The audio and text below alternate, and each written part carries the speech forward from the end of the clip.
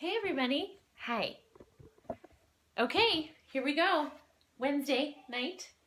Another pair of Halloween socks with the toes separated.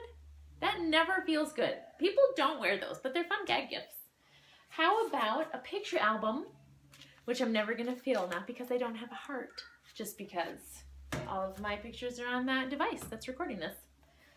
The book, City of Bones. Dun dun dun. Gloria actually has all of these, but she wanted a particular one with a spine that created a picture. But I was like, um, City of Bones, it's called a graveyard.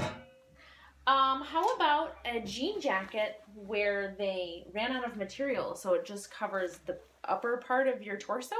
This doesn't do any good. And finally, a little polka dot beanie, which when you put it on your head, it shows everyone how big your head is by stretching out all of the dots.